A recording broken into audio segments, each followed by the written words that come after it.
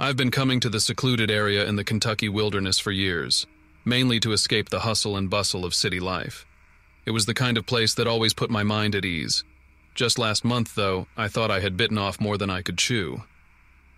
My friend Jack McKendrick accompanied me on this particular trip. We weren't close friends, but we shared a common interest in hiking and camping. It was strange how well we got along given our contrasting personalities.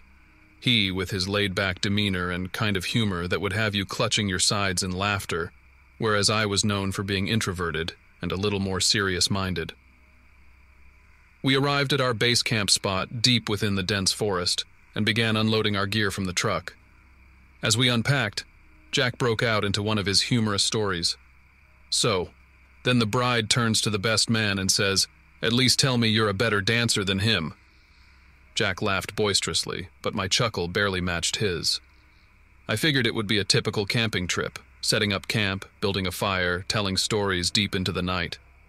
However, when I returned from collecting firewood and Jack from fishing in a nearby creek, an entirely different situation arose.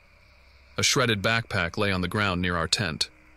The contents were strewn haphazardly about the site as if someone, or something, had been frantically searching for something valuable inside. At first glance, neither of us recognized it as belonging to either of us or anyone we knew. The fear slowly crept in as we exchanged puzzled looks. Maybe some wild animal got curious? Jack suggested hesitantly. Maybe, I replied uneasily. But have you ever seen anything like this before? Just then we caught sight of more destruction further up where I had collected the firewood. Following the path, we found several other backpacks ripped open in a similar manner, their owners nowhere to be found. We both held our breath and tried to understand what could have caused such destruction in an area devoid of most wild animals.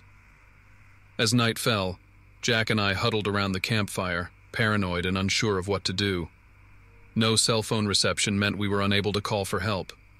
We remained on high alert, our eyes scanning every dark corner lit by flickering flames. That's when I caught what appeared to be a pair of glowing eyes watching us from the darkness. I had heard rumors of eyes that glowed red at night, but this was my first encounter with such a sight. Gone were thoughts about backpacks shredded by animals or even wanderers. This creature was something sinister, something unnatural that hunted this forest with malicious intent. Its form was grotesque, bizarrely elongated limbs that twitched erratically, a twisted face marked by a malevolent grin bearing razor-sharp teeth, part man and part wolf. Petrified, we watched as it slowly approached our camp with a wicked gait. Suddenly, it lunged at us with lightning speed, trying desperately to take hold of Jack's arm. He managed to swerve just in time, avoiding capture by mere inches. Our firearms lay just out of reach. Why didn't we have them at hand? I scrambled towards the weapons while Jack kept dodging the creature's ferocious advances. Jared, hurry! Jack yelled as the thing grabbed his leg and dragged him closer. With Jack's voice growing hoarse, I grabbed our shotgun and aimed it at the creature, my hands shaking violently. I hesitated for a moment but knew that I couldn't wait any longer. I fired a shot in the direction of the beast. The creature screeched in pain and released Jack's leg. However, instead of retreating, it seemed even more infuriated as it turned its attention towards me. What do we do now? Jack yelled, his voice strained with fear. I don't know, just keep dodging it, I responded, trying to load another round into the shotgun as quickly as I could. We needed help. We didn't stand a chance against this monster alone. Sadly, there was no cell phone reception here. Our only hope was to attract the attention of nearby campers or hikers who might be able to assist us. I loaded another round and fired it at the creature. It merely grimaced and continued its assault. The shotgun hardly seemed to make a difference. As it lunged for me again, I shouted at the top of my lungs, Help! Somebody please help us!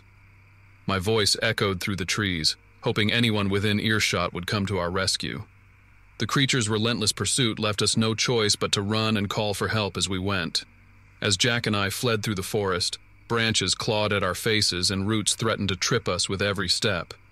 Soon enough, we stumbled upon another group of campers who had been attracted to our cries for help.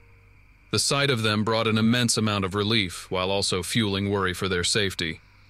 We informed them about the situation without going into too much detail. No one would believe such a creature existed, focusing on our desperate need for assistance. Something attacked us back there, Jack panted as he clutched his injured leg. We need help getting back to our campsite. A few of the campers agreed to go with us while the rest stayed behind as a precaution. With the added numbers, we hoped to at least be able to drive the creature away or potentially overpower it if necessary. As we returned to our campsite, it seemed as though the creature had vanished. The tension and fear in the air were palpable, but we cautiously moved forward together. Jack and I debated whether a search and rescue operation should be started for the missing backpack owners. Knowing they might have met a similar fate was unnerving and horrifying. However, given our lack of cell phone reception and one horrific encounter with an indescribable creature, we concluded our priority was getting everyone out of this forest safely. The group helped us gather our belongings and guide Jack out of the woods. We all remained silent in fear that any sound might lure that creature back to us. Several times during our trek out of the forest, I felt watched, as if those glowing eyes were still lurking in the darkness. But nothing more came for us. Once we finally reached an area with cell phone reception, we called for emergency help for Jack's injuries and reported our grisly discovery in the woods, leaving out details about the creature. No one would believe us anyway. Days later, after grueling interviews with authorities and witnessing their search parties return empty handed, it slowly became apparent that there were no answers regarding the fate of those backpack owners or an understanding of the terrifying creature Jack and I encountered. In hindsight, I can't help but shudder at how close we both came to death or abduction by this unknown monster, whatever its motivations may have been. The faces of those other campers who helped us escape continue to haunt my thoughts. Without them, Jack and I may have shared an equally tragic fate. But those glowing eyes forever lurk within my nightmares. The knowledge that such a creature exists and remains unexplained is a chilling reminder of the vast unknowns that still comprise our world.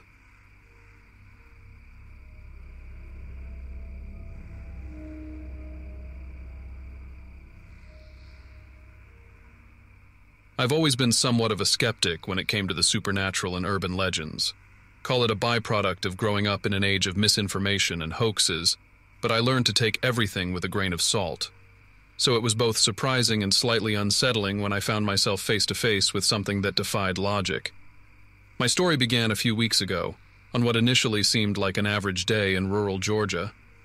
I was running late for work and was rushing to pick up some breakfast from a small diner just outside of town. The sun hadn't started to rise, giving everything around me an eerie stillness. The diner was located on the edge of a wooded area, not exactly the most populated place, but it made for a decent shortcut on my way to work. Despite my regular visits, the tree line still managed to unnerve me with its quiet and unassuming presence. As I took my breakfast to go, the diner's owner, an older man named Walter Callahan, cracked a joke about the local weatherman always getting the forecast wrong. I rolled my eyes and gave him my thanks before darting back into my car. Driving along the poorly lit road that skirted the woods, I suddenly felt an abrupt thud against my vehicle. Startled, I slammed on the brakes, afraid that I might have hit an animal. My pulse raced as I stepped out of the car, checking to see if anything was caught underneath or in front of it. There were no signs of impact, no fur or blood stains. Even stranger than that was what lay beside my vehicle.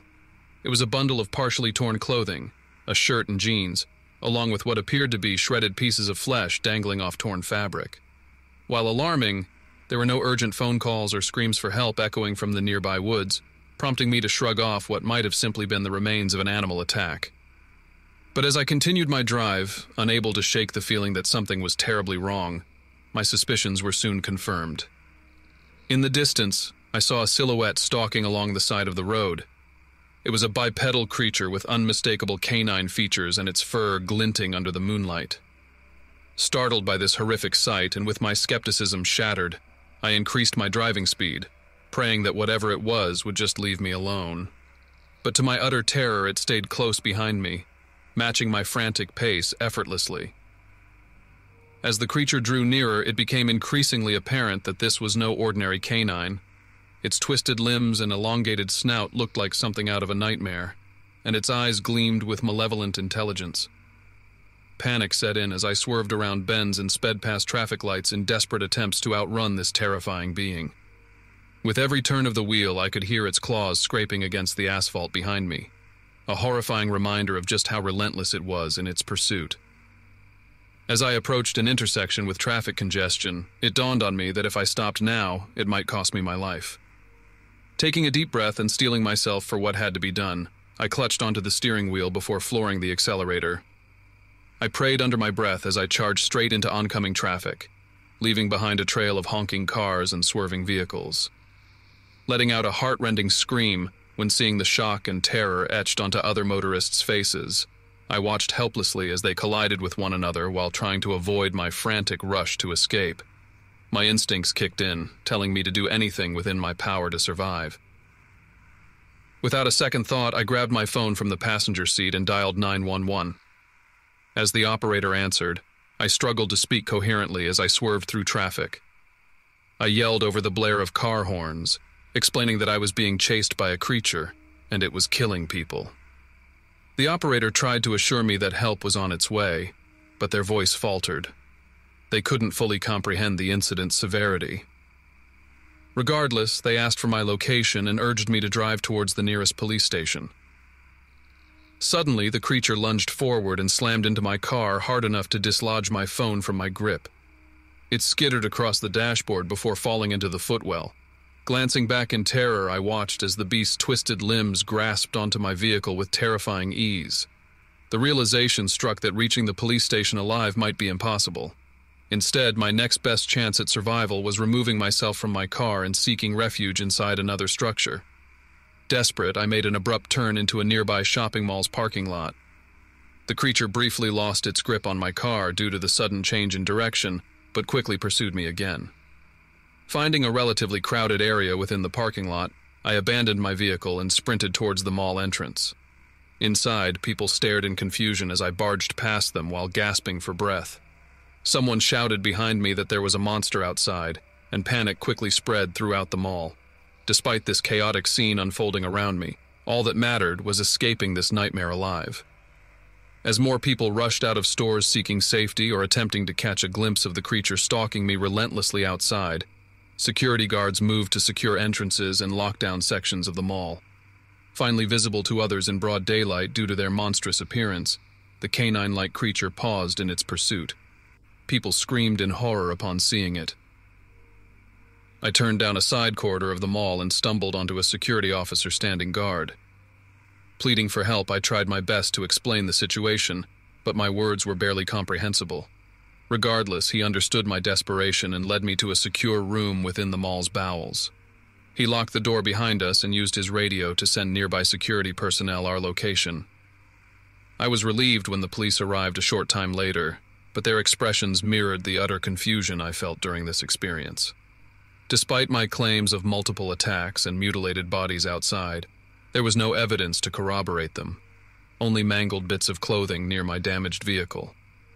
I couldn't understand how everything had vanished so quickly the creature, its victims, and any traces of blood left behind. The police officers tried to calm me down, suggesting it had all been a hallucination due to stress or fatigue. Deep in my heart, though, I knew what had happened. Although they never found conclusive evidence that day in terms of the monster stalking me so relentlessly, suspicion hovered over me like a dark cloud. No matter how hard I tried to prove my sanity or convince others that it wasn't merely some vivid nightmare or delusion, nothing changed. But life went on around me as people soon forgot those terrifying moments shared within a busy shopping mall, some choosing to write it off as another urban myth perpetuated by those seeking attention. As time passed, people began to forget about it. Survivors went back to their lives but carried memories of that horrifying event with them. Some friends and families mourned and reminisced on those they lost without knowing what happened fully. Though relief washed over me that I survived such an ordeal, I couldn't forget the agony experienced by victims torn apart before my very eyes. As unsettling as it was knowing that a dangerous, flesh-hungry creature roamed our world, I gained some comfort in the fact that exposing it had likely saved countless other victims from its wrath.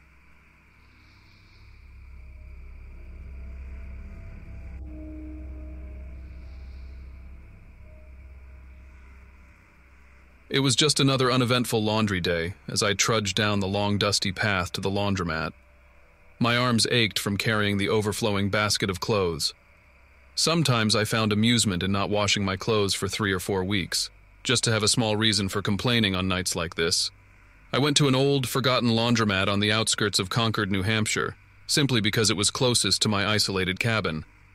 And there certainly wasn't any chance of running into someone who knew me here, being that it was pretty much abandoned. As I entered the dimly lit laundromat, its rusty metal door squeaked with discomfort. The faint hum of washing machines and dryers filled the otherwise silent room. One flickering fluorescent light hovered above me as I began loading up machines. Three others were scattered around the periphery of the worn out tile floor. As I fed quarters into the last washer, I pressed play on my favorite true crime podcast and settled onto a rickety wooden bench near the front door. The voice recounting harrowing tales kept my mind occupied, drowning out eerie silence that surely would have consumed me otherwise. As my clothes tumbled rhythmically in their metal carriages, I noticed an odd scratching sound coming from outside. Casually glancing through the cracked glass window by the entrance, I squinted, trying to discern what could make such noise. Adjusting my focus past my reflection in the window, my heart nearly leapt out of my chest as I saw an enormous creature loping across the overgrown grass behind the laundromat. The vile beast appeared to be something from my wildest nightmares, half man and half wolf with disturbing human-like movement, but with fur-covered limbs that ended in massive claws. Instinctively, I ducked below the windowsill while hyperventilating and thinking, how can something like this exist? I knew I should call for help, but something inside me urged not to. If anyone found out about my uncanny encounter, they'd surely think me mad. And yet, there was no denying that the grotesque thing I had just witnessed was real. As my mind raced, I hesitated to make sense of what I had seen. The creature was long gone, but its mere existence plagued me with an icy fear I couldn't shake. My heart continued pounding in my chest as it begged me to leave this forsaken place. I must be going crazy, I thought aloud to myself. Torn between curiosity and terror, I couldn't resist peeking through the window again, hoping to catch another glimpse. Instead, I saw something equally disturbing blood-splattered tire treads leading into the woods behind the laundromat. The gruesome scene made my stomach churn with revulsion. Gulping down the urge to vomit and trying not to let my imagination run wild, I slowly gathered my courage and ventured outside. The cool evening air did little to calm my nerves as I followed the bloody tire tracks toward their ominous destination. As I reached a tree line, a sense of dread washed over me when I realized that these tracks didn't lead into the woods after all.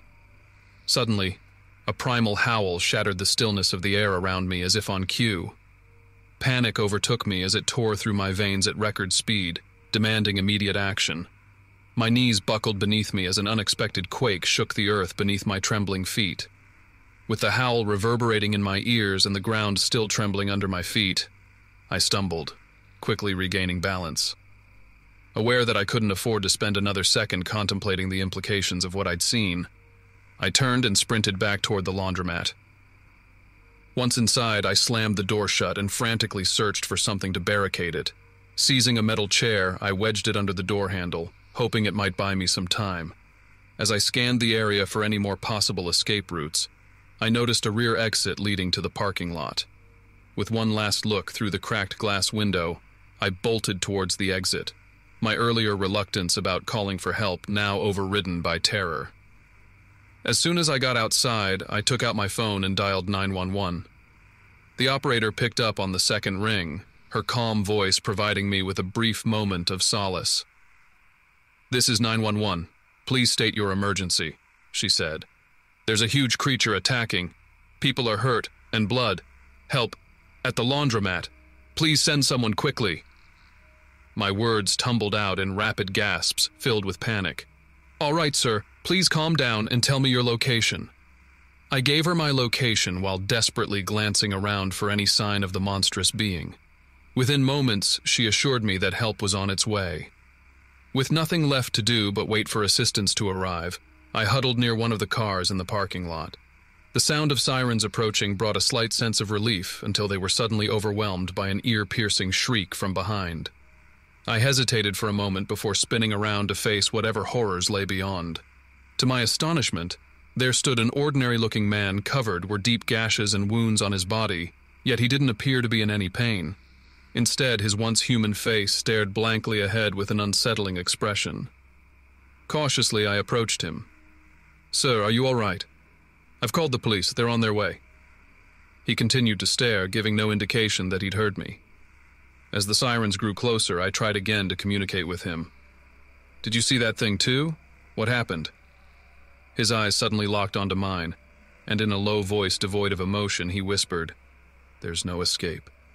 It won't stop. Before I could decipher his cryptic statement, the police arrived. They quickly ushered us away from the scene and began questioning us about our harrowing encounters.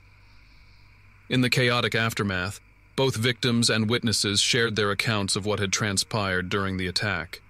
Some described seeing the monstrous creature as it brutally mauled its targets without discrimination. Others spoke of individuals reduced to unresponsive shells like the man I'd encountered. Despite everyone relaying their experiences in different ways, one message remained consistent. We were all victims of an unspeakable horror that defied explanation.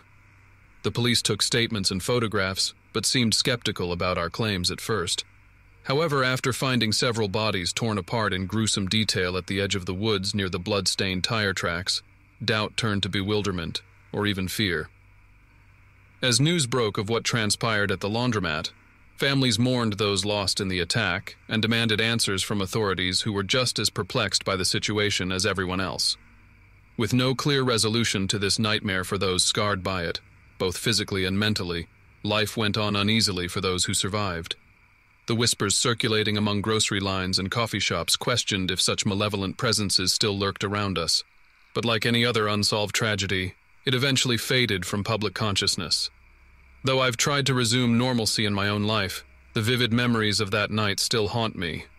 No one can ever truly understand what it felt like to stare into the eyes of an inexplicable and unfathomable horror, knowing that somewhere within the recesses of the unknown, it may still exist, waiting for another opportunity to strike.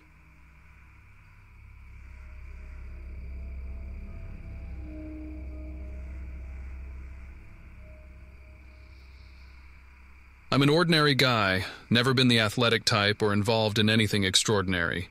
No one would consider my life exciting, and I prefer it that way. But it all changed during a hiking trip in Glacier National Park in Montana.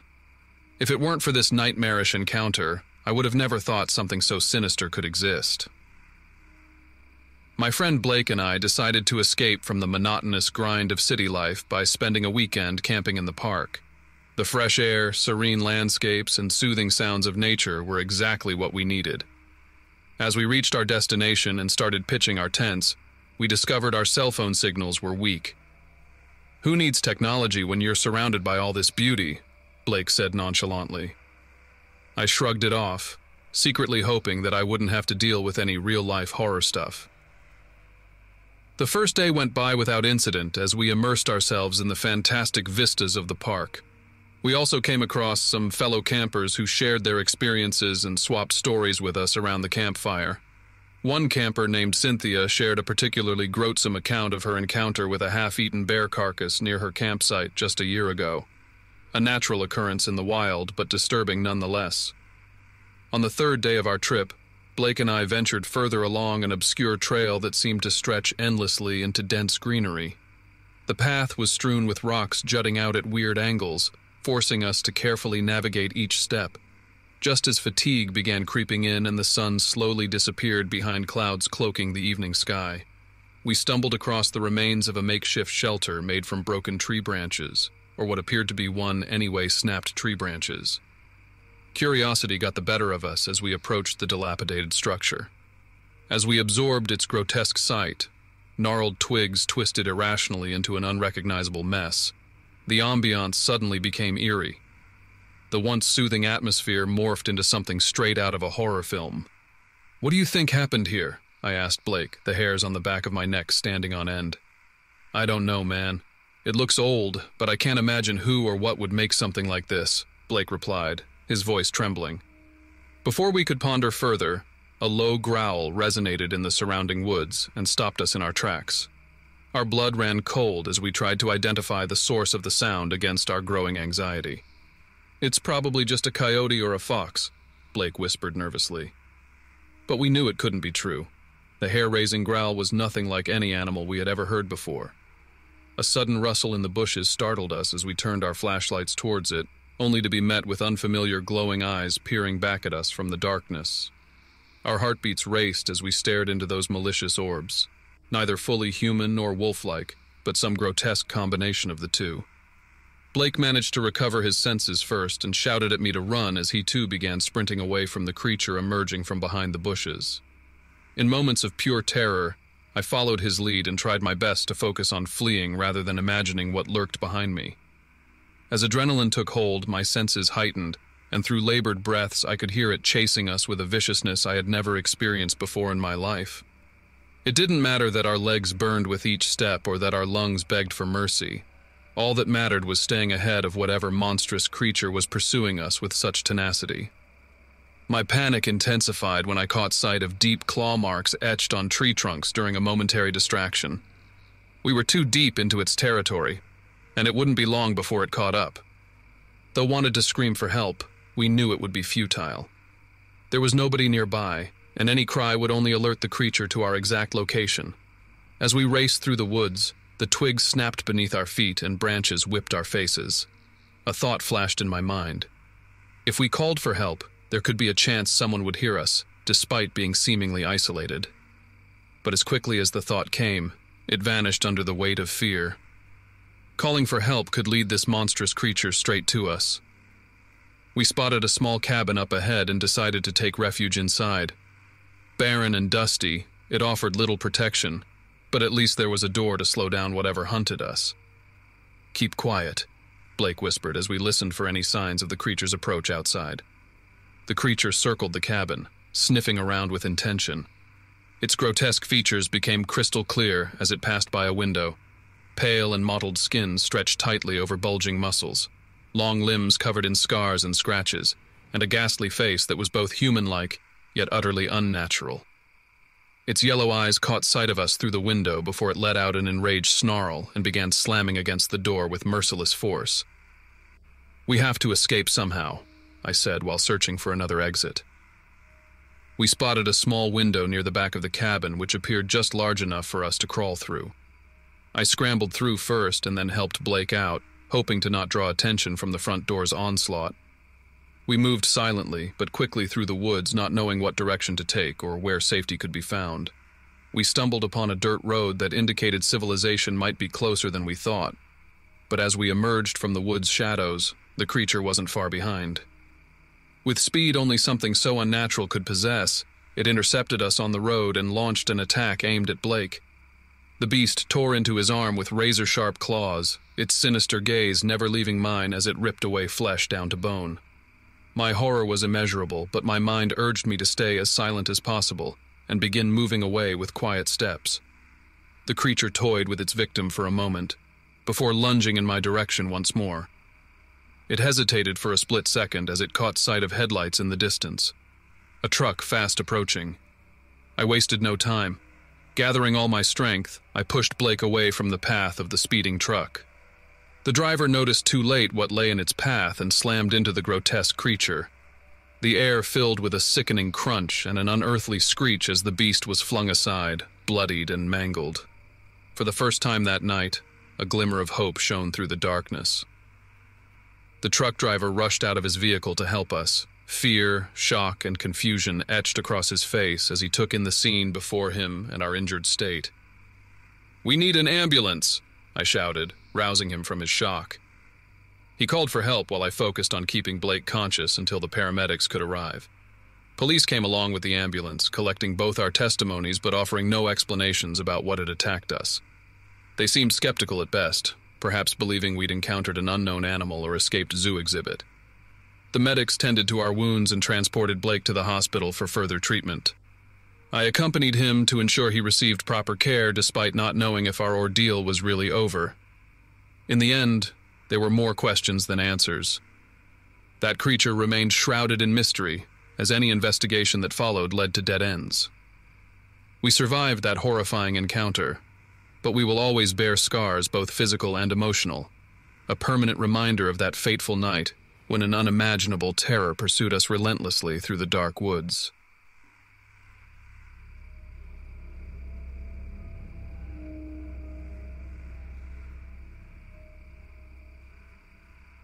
It was supposed to be a day of relaxation and leisure, but somehow my life took an unpredictable detour. My neighbor, Tim Kirkland, had invited me to join him for a day at his family's cabin near the eerie Romeslow Ridge. To be honest, it was quite the unexpected invitation. We didn't hang out much other than borrowing sugar or garden tools. Still, I could use a break from the demands of my daily grind. Upon arriving at the remote cabin, I was struck by its absolute isolation.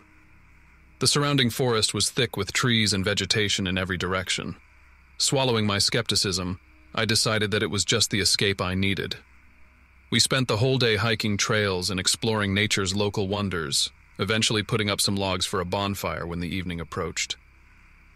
As we sat around the fire sharing stories and snacking on roasted marshmallows, Tim brought up a peculiar and gruesome event that had taken place in the area just two months prior. A series of missing person reports had sent shockwaves through the neighboring towns. What piqued my interest was that these people were last seen within miles of where we currently sat around our little fire.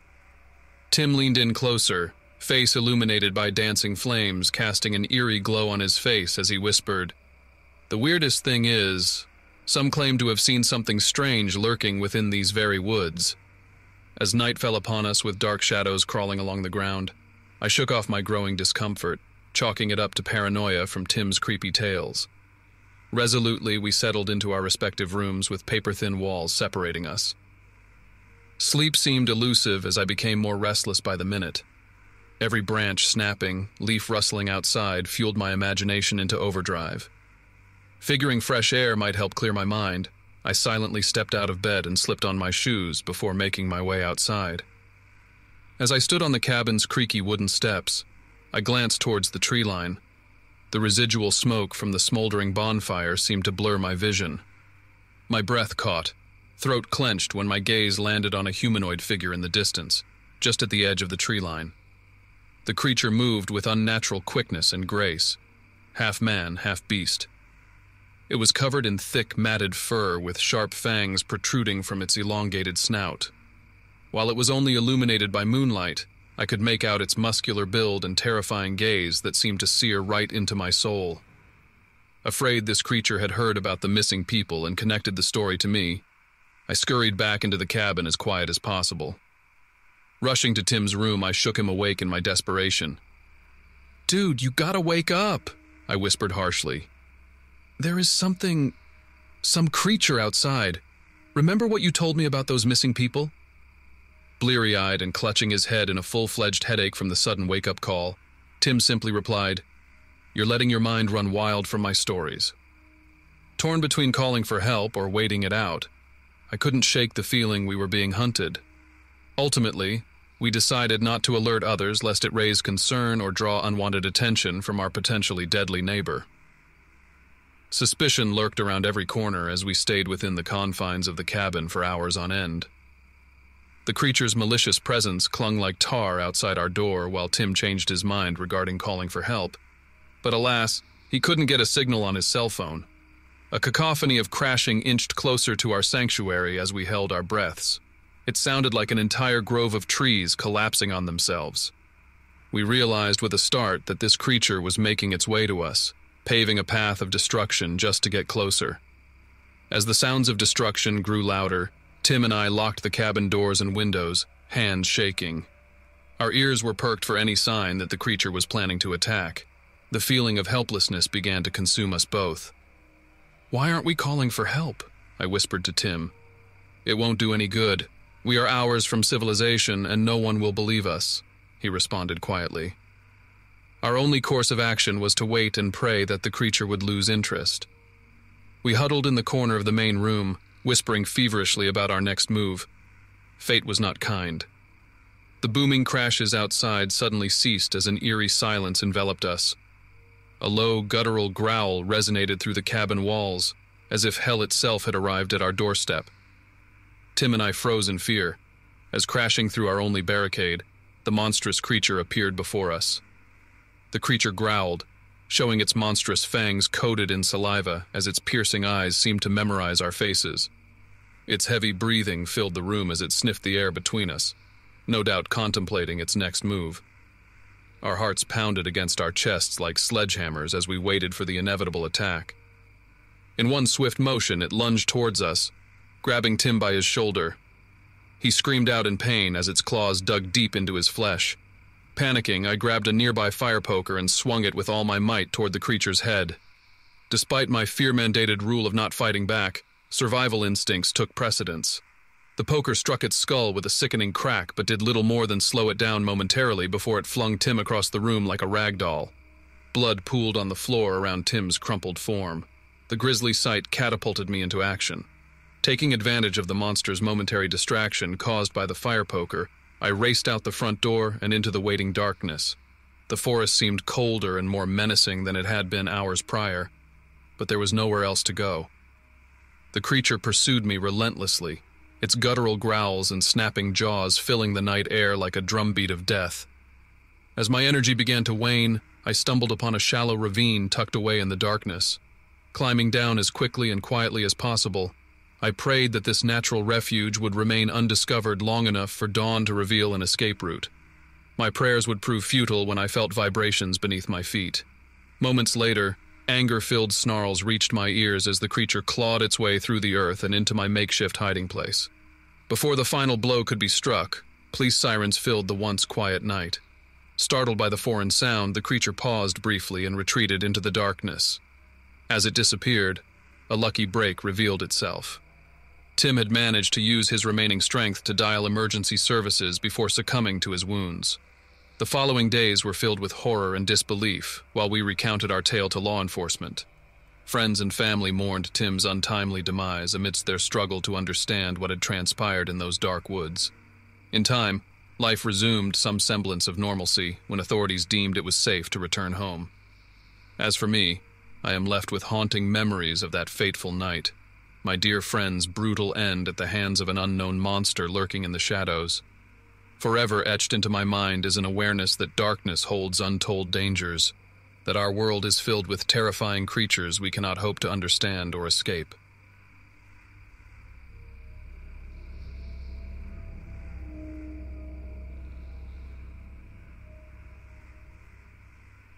Living on a secluded property has always had its ups and downs.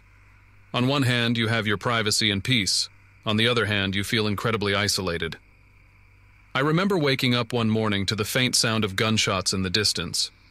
Probably someone hunting in the woods nearby. This wasn't out of the ordinary.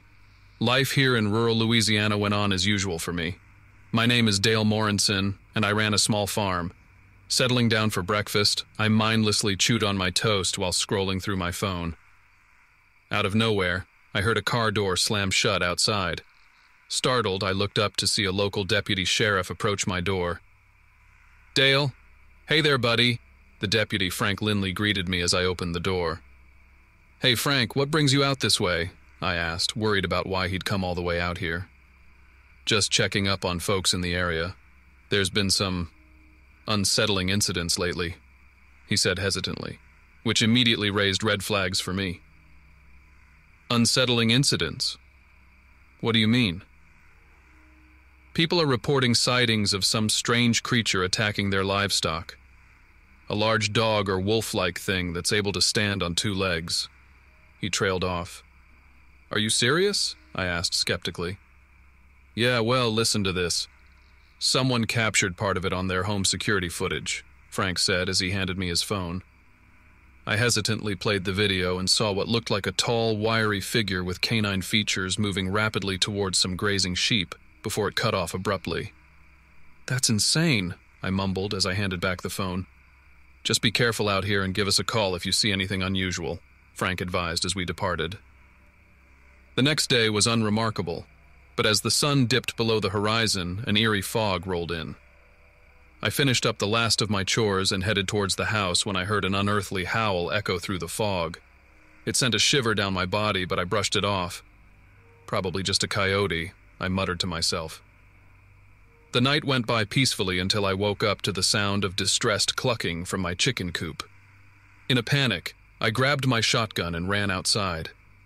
As I got closer to the coop, I could see that one side had been ripped apart a strange guttural noise drew my attention towards a hulking figure in the darkness, long, awkwardly bent limbs moving like a poorly operated marionette. My heart pounded as fear took over. Without another thought, I fired a shot at the creature. It screamed in pain and turned on me with fury in its eyes. Now, completely terrified, I bolted back to the house and locked the door behind me. My hands shook as I tried to dial 911 on my phone, but here in rural Louisiana, cell service is spotty at best. All of a sudden, loud banging echoed against the door. Frank! Frank! My voice quivered as I desperately yelled out for my friend, who was also a deputy sheriff. I barricaded myself in an upstairs bedroom, shotgun at the ready. The banging persisted outside for what felt like hours, but eventually stopped altogether. I stayed holed up in that room until daylight crept in through the window cracks. As the sunlight began to fill the room, I cautiously stepped out and glanced around. Surprisingly, the house didn't have any signs of damage. I moved quickly, checking the entire place, and realized that it must have been focusing solely on trying to break down the barricaded door. I knew I had to alert authorities of what had happened. The odds of reaching them through phone were still slim, but with a little luck, the situation could be resolved. But as I held my phone on my shaking hands, there was no luck, no signal at all. As the unfamiliar feeling of helplessness began to sink in, I knew my only choice was to leave and find help before this thing comes back. I grabbed my keys, some clothes, and other essentials before getting in my truck. The drive in rural Louisiana can be a long one, and stopping isn't an option with that creature lurking around. As I drove away from the farm, I saw a car coming towards me. It was Frank. Relief washed over me as I waved him down. Frank, my God, I exclaimed. There's something you need to see. Frank's brow furrowed in concern as he listened to my story about last night's events and the creature. We can't let this thing harm anyone else, he said with determination. We drove back to my house to survey the damage and plan our next move. As we stepped into the backyard, we found pieces of wood and torn netting scattered around where my chicken coop used to be. The evidence backed up my story well, while making Frank even more unyielding in catching the attacker. You know what? Frank said sternly. We're going to set up watch here tonight. See if that thing comes back. But Frank, it might kill us. My voice broke with fear.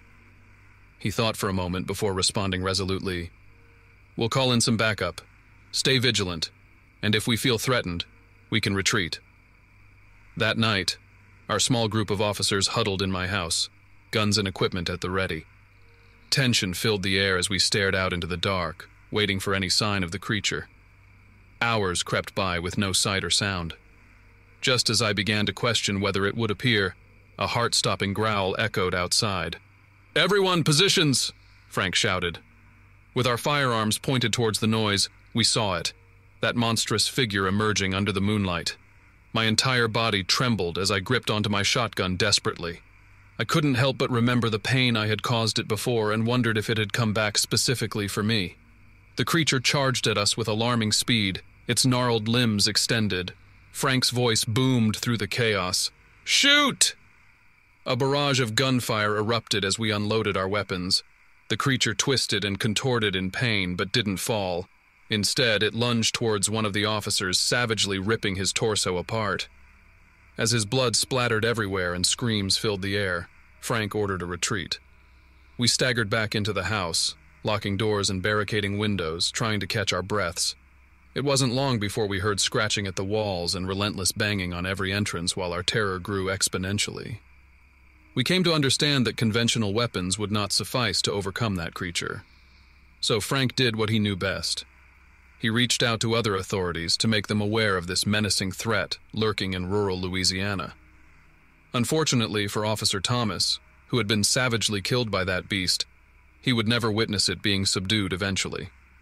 His sacrifice would become a chilling reminder of what could potentially lurk beyond our comprehension in these dark corners of the world.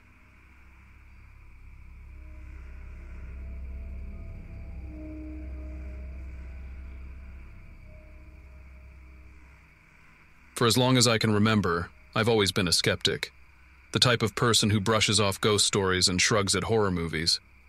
I never expected that my skepticism would finally meet its match during a trip to the desolate wilderness of the Ozarks.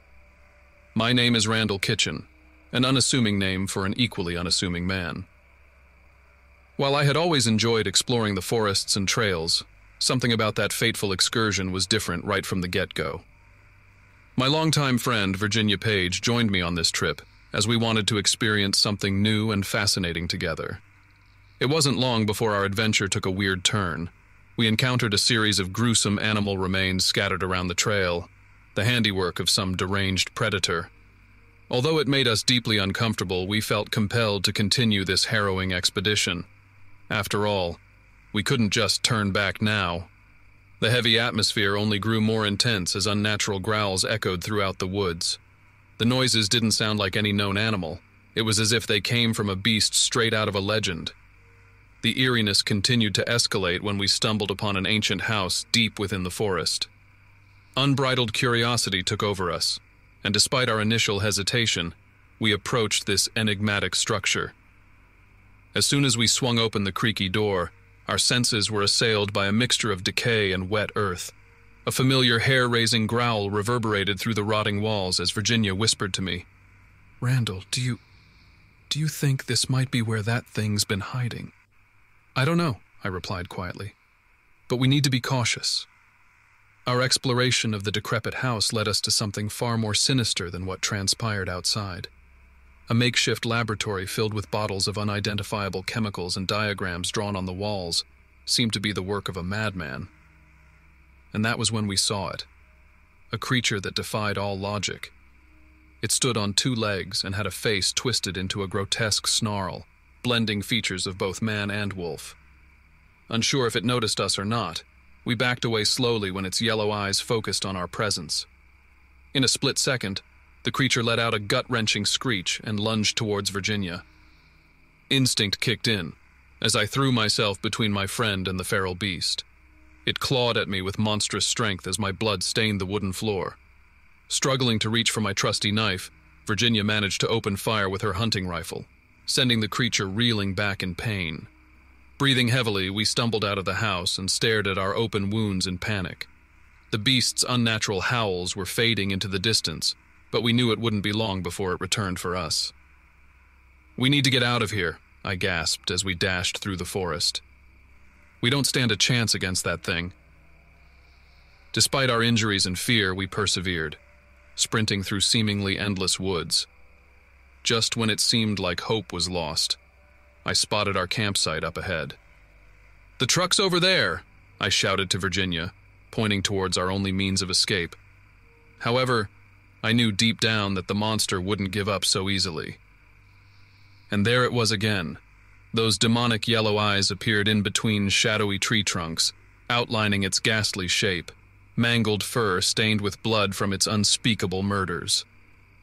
With no time to spare, I shoved Virginia towards the truck, yelling, Go! Get it started! As she fumbled with the keys, my eyes darted across the dark woods, searching for that monstrous creature. Suddenly, it burst out from the trees, charging at us with an eerie mix of rage and hunger. Its elongated limbs allowed it to move at a terrifying speed as drool dripped from its hideous, snarling mouth. Why aren't you calling for help? Virginia shouted as I slammed the truck door shut and climbed into the driver's seat. We don't have any time, I replied, my voice frantic. That thing is too fast, and we're too far away from any potential help right now. Fear filled her eyes, but she nodded in agreement. Just as we began to speed away in our truck, the grotesque beast writhed in agony on the ground. It was clear that Virginia's bullet wound was taking a toll on it.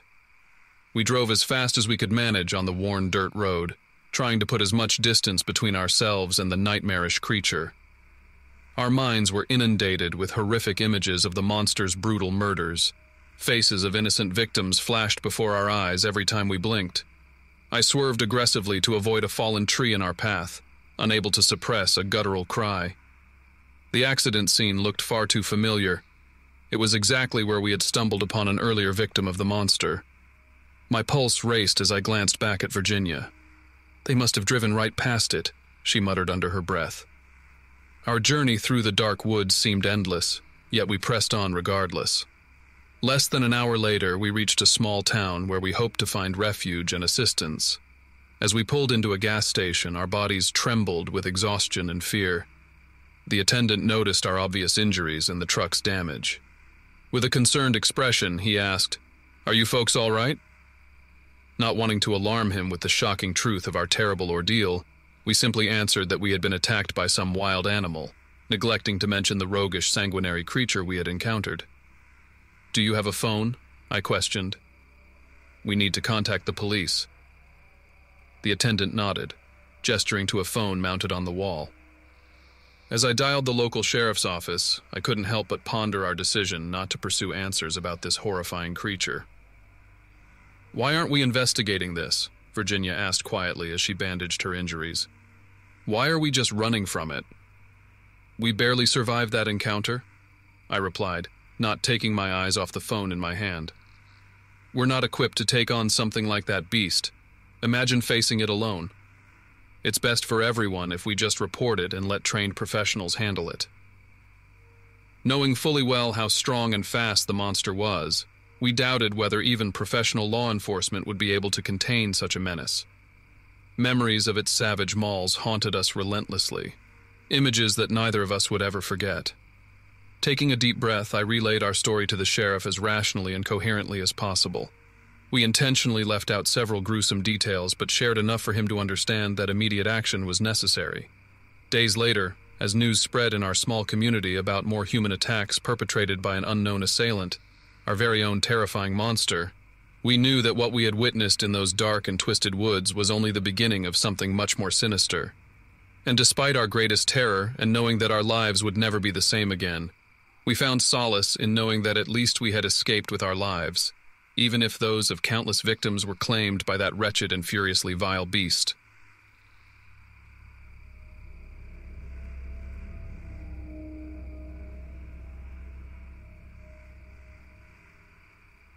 I'm Taylor Benson, an ordinary guy who does janitorial work. Large, nondescript city office buildings in a secluded part of Michigan have always been my domain. Work keeps me busy during the day, and I pride myself on my punctuality. However, the bizarre thing that happened one late night will forever be etched into my memory. It all began with a sticky note. My boss left it on the counter asking me to clean out the storage rooms in the basement level of an old building we solely used for storing things that no longer served any purpose. Little did I know how this simple task would change everything. Descending into the dimly lit depths of the forsaken structure, I was greeted with a musky odor that permeated the air. The storage rooms were cluttered with boxes, some containing dated electronics from an era gone by, others just stacks of unused supplies. I immediately began sorting through the mess with precision and purpose. The eerie basement level grew darker as the daylight disappeared outside, leaving only artificial light to illuminate my surroundings. My co-workers, Hannah Stevens and Carter Peterson, had agreed to stay late to assist in clearing out some of these storage rooms. As I meticulously moved around with my inventory chart in hand, ticking off items as I went, I laughed at a joke Hannah made about a dusty old fax machine. While our progress was slow and steady, my heart stopped when I heard Carter let out a sharp gasp from across the room. Whipping my head around, I watched as he stumbled back onto some boxes near a pile of discarded wooden pallets. What's wrong? Hannah asked as we rushed to his side. I saw something outside, just for a moment, he barely managed to whisper in response, his eyes wide with fear. I couldn't help but dismiss it as just his mind playing tricks on him due to our spooky surroundings. We decided to take a break, during which we exchanged stories to lighten the atmosphere. Things returned to normal, and we continued with the task at hand. As I ventured deeper into the rooms filled with cobwebs, I couldn't help but feel uneasy Moving away from my co-workers, I turned a corner and nearly jumped out of my skin. In front of me stood a grotesque creature that was neither man nor wolf. It was a bizarre hybrid covered in matted fur, with the head and paws of a canine and the body of something more humanoid. Frozen in terror, I realized it wasn't just Carter's mind playing tricks. This malicious monster stared right through me, its yellowed eyes thirsty for violence. As it took one menacing step forward, my instincts kicked in. Run! I screamed, reaching for Hannah and Carter. The creature lunged at us with unnatural speed, baring its razor sharp teeth. Carter tried to fire his trusty pocket pistol to no avail. The bullet appeared to not have penetrated whatever demonic skin this beast possessed. We clambered over crates and scrambled towards the exit, our hearts pounding with every second that passed as we tried our best to escape whatever unholy hell this creature represented. We darted around abandoned boxes as the beast leaped from storage pile to storage pile with predator like agility, its gruesome visage ever present in our minds as it attempted to tear us apart at every chance it got. There's no way we can outrun that thing, Hannah panted as we raced up the stairs. We don't have time to call for help, Carter wheezed as the erratic sound of his phone flew past me down into the abyss below. The fear in his voice matched perfectly how I felt inside. That sinking sensation that overcame me as I realized our chance for escape was continually dwindling with each passing second. I urged them to fight on, knowing we had no choice but to brave the unknown. The creature continued to hunt us relentlessly, using its unsettling combination of human cunning and animalistic brutality. It closed in on Hannah, who found herself cornered by stacks of crates. In that moment of desperation, I remembered the old fire extinguisher we had seen earlier near the entrance. Grabbing it, I instinctively aimed and discharged the foam at the creature, temporarily blinding it and forcing it to retreat. Move now! I yelled, and the three of us pushed our way past the momentarily stunned creature, running back towards the warehouse entrance. Why aren't we calling for help? Hannah cried as we raced through the maze of abandoned crates. Our phones, we left them in our coats, Carter replied, realizing we had no way to call for help due to our carelessness. We finally burst through the exit, slamming the door shut behind us as we gasped for breath.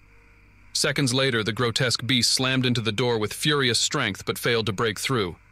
Knowing that we needed help and couldn't retrieve our phones, we quizzically scanned our surroundings for anywhere safe to hide. Thankfully, we noticed a nearby police station in the distance.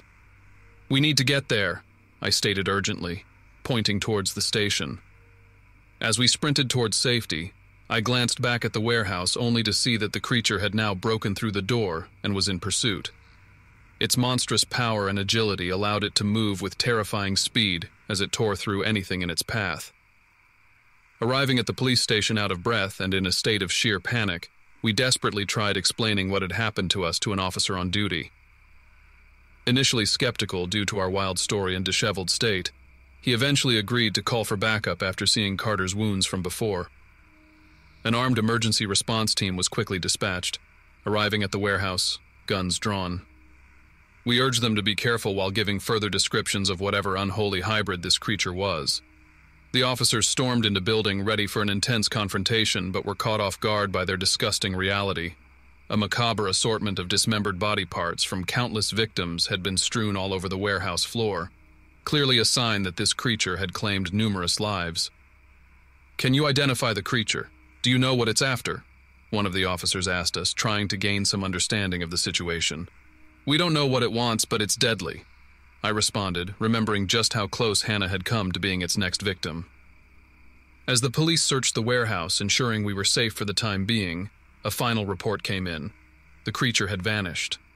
They could not find any sign of its presence within or around the vicinity, we were informed that due to our traumatic experience, we should go home and try to get some rest. But none of us could escape reality.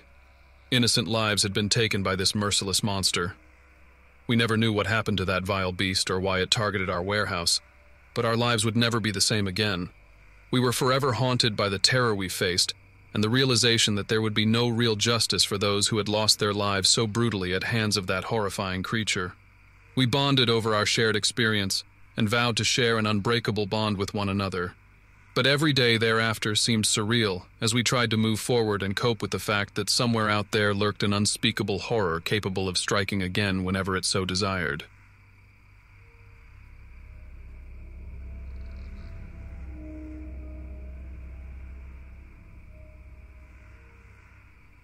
I was never a nature enthusiast, but I couldn't resist the allure of the pristine water and mild weather that Crystal River in Florida had to offer. It was known for its clear, sometimes turquoise waters and wealth of wildlife, particularly manatees. My buddy Tim, who was as avid an outdoorsman as they come, somehow managed to convince me to accompany him on a week-long canoeing trip there. It began as a remarkably typical trip. We paddled the smooth waters, surrounded by lush vegetation and moss-laden trees. The soundscape of rustling leaves and chirping birds created a soothing atmosphere. Tim brought out the portable grill and cooked some grilled veggies that were surprisingly appetizing despite their charred exterior. Day four of our trip took an unexpected turn when we decided to veer off course and explore one of the small inlets that branched away from the main river path. At first glance, it seemed like just another peaceful tributary. There was nothing inherently daunting about it. Nevertheless, it had that allure of untouched wilderness.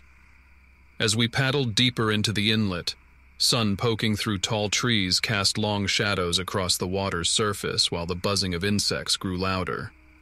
Tim retrieved two sandwiches wrapped in foil from his bag and tossed me one. Chicken salad, he declared proudly. Courtesy of yours truly. We chuckled over our meal as we took in our secluded surroundings. By late afternoon, we reached a fork in the river where we decided to make camp near a small clearing adjacent to a thick forest. To pass time before sunset, we fished for our dinner with some live bait and spinners. As night fell, we cooked our catch over a fire despite being awful at starting one without proper tools. As I laid down in my tent for the night, something felt off. It was eerily quiet outside. Even Tim mentioned this sudden silence before retiring to his tent, reassuring me that nature often plays tricks on the ears. I tried to ignore it, writing it off as an overactive imagination, and eventually drifted off to sleep. I awoke with a start in the middle of the night to a snapping twig outside the tent. Holding my breath, I hesitated to wake Tim, but my curiosity was getting the best of me. Slightly trembling, I grabbed my flashlight and slunk out of my tent. The flashlight's beam illuminated the area around our campsite, revealing a trail of mutilated fish and scattered fishing gear. It seemed as if someone or something had taken our catch from earlier that evening, only to rip it apart brutally. Not daring to breathe, I spotted what looked like large paw prints mixed with human footprints leading deeper into the forest. Terrified that our attacker might still be lurking nearby, I rushed back to my tent and shook Tim awake. His usually calm demeanor disappeared as he took in the grisly scene before him. We have to leave this place, I whispered urgently, not really understanding why we couldn't ask for help. Tim agreed without hesitation, and we quickly packed up our belongings before launching our canoes back onto the water. As we paddled farther from the site, however, we heard an unnerving sound pierce through the night air, a gut-wrenching howl with an almost human-like quality. The sound seemed to be coming from all around us, we couldn't pinpoint its source. My heart raced as Tim whispered under his breath. What on earth was that? Suddenly, something large splashed into water several yards ahead of us. We came face to face with a creature unlike anything we'd ever laid eyes on. A monstrous blend of man and wolf with razor-sharp teeth and menacing yellow eyes that stared right at us. With every ounce of strength left in our bodies, we paddled furiously, desperate to distance ourselves from whatever it was that had been stalking us. The beast clawed its way through the water, closing in at an alarming rate, while all we could do was keep paddling. Our boat heaved violently as we crashed against submerged tree trunks and boulders, but we dared not stop. The creature gained on us with no signs of slowing down. Sheer determination shone in its eyes as it persisted in chasing us through the murky waters. Our canoes carved a path through the dark water, but it was obvious we were tiring. In a desperate attempt to survive, I suggested to Tim that we head for the nearest road, hoping to find help from any passing motorists. Good idea. Let's do it, he panted as we changed direction, narrowly avoiding a low-hanging tree branch. As we closed in on the bank of the river, I noticed a faint light flickering in the distance. Heart pounding, I drew Tim's attention to the light, hoping it would be our salvation. We charged out of our canoes onto land, desperately trying not to trip over roots and rocks while making our way toward the source of the light, which turned out to be an old gas station. Hysteria took over as we saw people around. Finally, someone who could help us escape this nightmare. We burst through the doors into the dimly lit store, taking no time to apologize for scaring the few customers present. Please help us, I gasped at the first employee I saw. We were attacked by something. It chased us through the river. The employee initially looked doubtful, but ultimately felt compelled by our sheer panic and exhaustion. He picked up a phone and dialed 911. We need help out here, he pleaded calmly into the receiver. Some folks were attacked by an unknown creature down by the river. While waiting for law enforcement and paramedics, we noticed that our wolf beast pursuer hadn't followed us further ashore. All that was left were distant echoes of the previous night's blood-curdling encounters to haunt our minds. Officers arrived on site within minutes and listened as we recounted our story, describing our attackers' features in explicit detail. They nodded solemnly as they took note of everything, but offered no explanation or suggestions about what we had encountered. As officers escorted us back to the campsite, we noticed that the footprints and mutilated fish remained as gruesome reminders of our terrifying ordeal. Paramedics treated us for minor injuries and exhaustion, while authorities conducted a thorough investigation throughout the area. In the following days, we were questioned and re-questioned, but no one had any adequate answers or explanations for what we had experienced. Reports started circulating in the media and local town about a beast dwelling in the depths of the woods, but nothing definitive ever surfaced to explain its origin or purpose. Rumors of the creature became a local mystery, shared in hushed whispers throughout the community. We vowed never to venture near those waters again, forever shaken by what we had experienced. As time passed, we tried to return to our ordinary lives, plagued by memories of that night. Each time we closed our eyes, images of that monstrous being resurfaced in horrifying detail images that would remain etched deep within our minds. We would never forget those who fell victim to that seemingly otherworldly menace, their maimed remains serving as dreadful evidence that sometimes it's safer not to know what lies hidden in the night. And though it was impossible to forget the dread, one thing was certain. We would do all we could to avoid crossing paths with such a ghastly creature again. Our camping trip had transformed from an adventure meant for relaxation into a grisly encounter with something beyond our comprehension. It was now our mission to ensure that others would tread carefully into such darkness, bearing in mind what potentially lethal terrors might lurk just beyond their sight.